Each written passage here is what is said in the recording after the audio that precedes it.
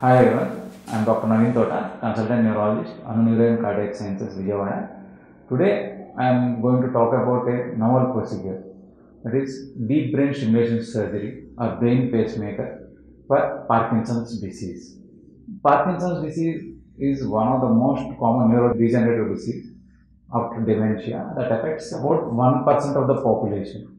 This disease is characterized by tremor, that is shaking of the hands, rigidity or stiffness of the limbs, and slowness of activities, and postural imbalance while walking. Initial five years, these patients tend to respond very well to drugs, and they will be able to lead their life normally as any other person with drugs.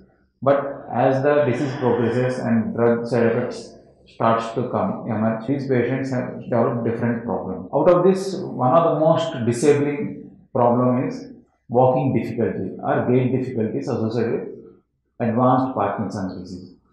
Gait difficulties includes imbalance and difficulty in gait initiation. Gait initiation means when the patient just uh, stands from the chair and starts walking, he won't be able to walk. It appears that his feet are stuck to the ground as a car with a failed clutch. How it behaves the same way these patients tend to behave while walking and this appears uh, throughout the walking. They tend to walk with very short step and while turning also they will be having similar difficulties. While crossing obstacles also they will be having similar difficulties resulting in falls. This gait difficulty or walking difficulty occurs due to misfiring neurons in the dopaminergic pathway of the brain. So dopaminergic pathway controls the movements of the body.